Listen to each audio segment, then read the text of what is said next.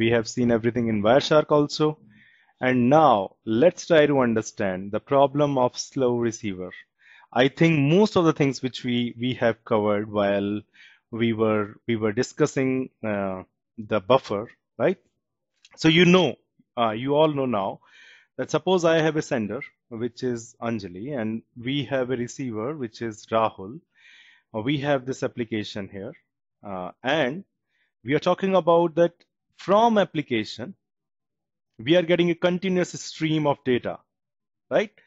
Which we are storing and uh, this this bucket, this buffer is provided us by the operating system. So it depends on whether you are a Linux box, you are a Windows operating system.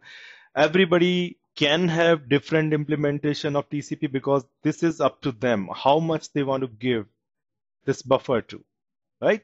So 150 uh, suppose this operating system has given this buffer information as 150 bytes can be stored here right? Similarly on the receiving side uh, the buffer allocated is 70 bytes okay? So it is going to be a problem when and uh, and i'm i'm i'm presuming uh, right now i'm presuming right now that uh, whatever the buffer is allocated to us i am i can able to send all the things and suppose if this guy is filled with all these 150 bytes of information and can send this 150 bytes of information of course in the forms of in the form of segment and this guy's application is pretty slow. It is not pulling out information.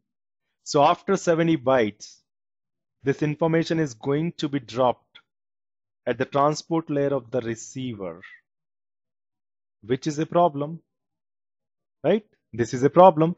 So this means there must be some mechanism. Guys, any question? if you have any question, then I would say just uh, please ask them at the end of the session. Okay. Uh, till then, just please unmute yourself. So if you see here, if you see right now here, if the application is slower in receiving the 70 byte of information from the transport layer, this bucket is going to be filled pretty soon, right? So whenever this bucket is filled, there must be mechanism so that this slow receiver can inform the application, sorry, the transport layer of the sender that do not send me data more than 70 bytes. It would be great if it can provide this information at the beginning of the communication, right?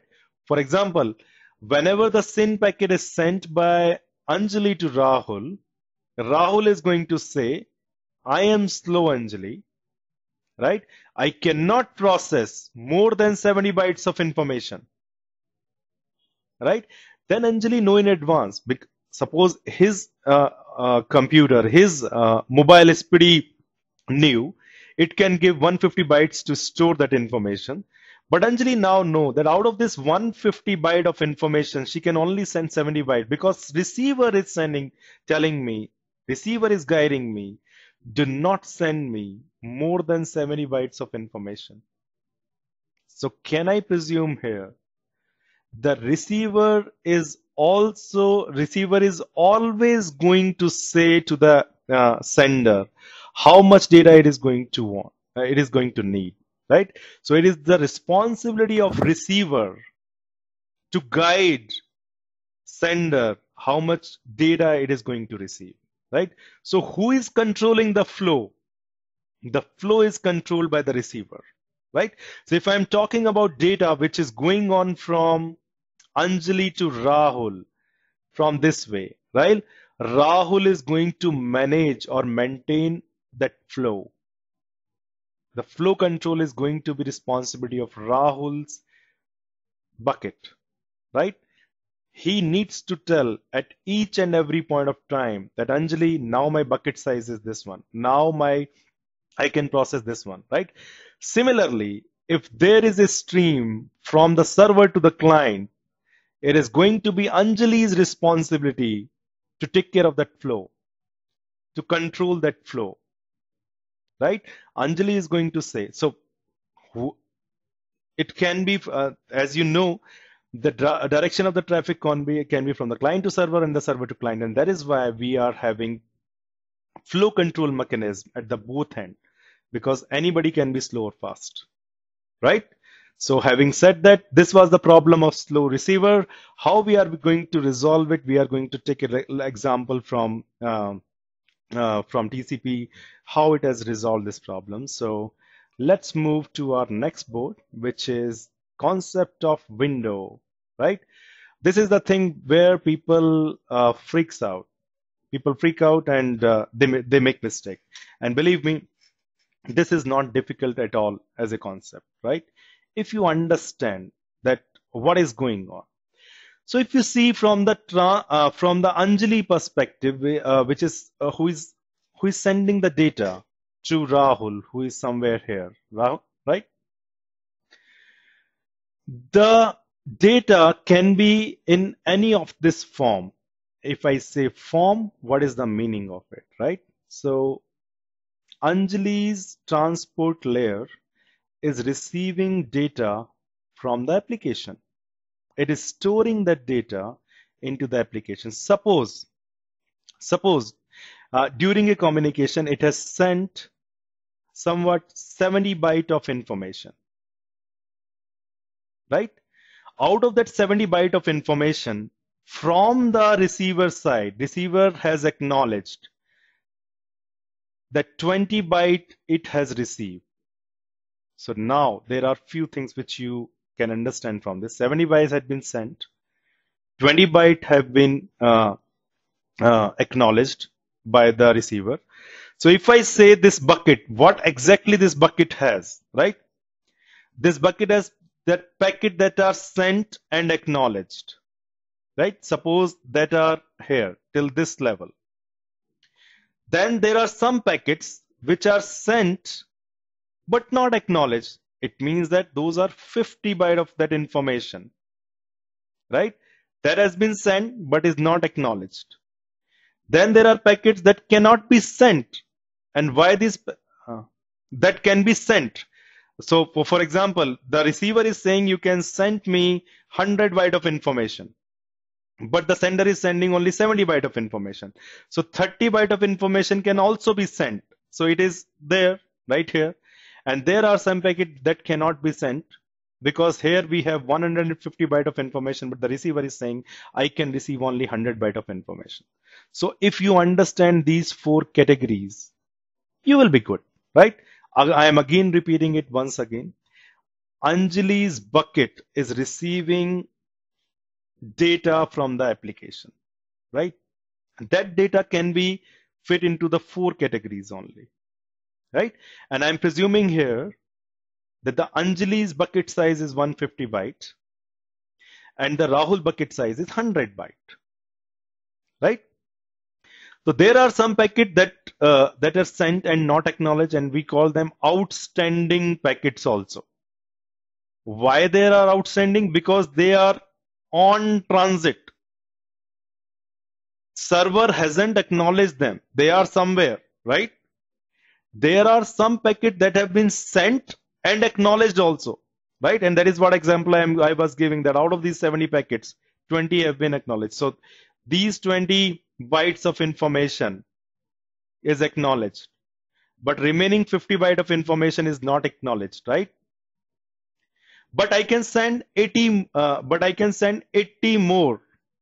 Sorry the packet that cannot be sent uh, uh, that can be sent. 20 byte of information I have already sent and acknowledged 50 is here right? And then packets that can be sent. What are those packets right? If this guy can receive only 100 byte of information I have sent 50 plus 20 so 30 are the more uh, uh, bytes of information I can send right the packet that I cannot send because the receiver is 100 byte only and that is why I cannot send those 50 bytes which are right here flowing here. Right? Just try to understand the concept. Just try to uh, think that there are four uh, such things are right? But now the point is whenever this application sends some data this Anjali's TCP is going to put all those that into a buffer. Previously, I was showing that buffer with the bucket. Now I am showing that buffer with a rectangle with some compartments here, right? Here are these compartments, right? So there are some packets that can uh, that are sent and acknowledged. Suppose these packets are here, sent and acknowledged. There are some packets that are sent and that are not acknowledged. Suppose this is here. There are some packets that can be sent. Suppose these are here. There are some packets that cannot be sent because the receiver is not able to receive them and that's that are here. So actually this thing from here to here, right? Because these packets have been acknowledged, so this means that this can be purged. Purge means this can be go out from the memory, right? So whatever we are seeing from here to here, it is going to be my window, right? From here to here, where I have packet that I have sent and uh, sent and not acknowledged, and that packet that I can send based on the receiver. So who is guiding this? So suppose this is 100 byte. The total buffer length which was allocated by the operating system to me was one 150 byte of information that I can store. But receiver told me you cannot send me more than 100 bytes. So receiver is guiding me. So out of this 150 byte, I can only send 110 byte of information. And that is what I call my send window. I cannot send more than that because the receiver is informing me again and again या मेरी language में चिक चिक के बोल रहा है भाई सौ से ज्यादा नहीं right if i cannot accept more than 100 byte receiver is uh, again and again saying me i cannot accept 100 100 byte it means receiver is guiding me that you cannot have more than 100 byte of information towards me and that is what i called send window right so there was a total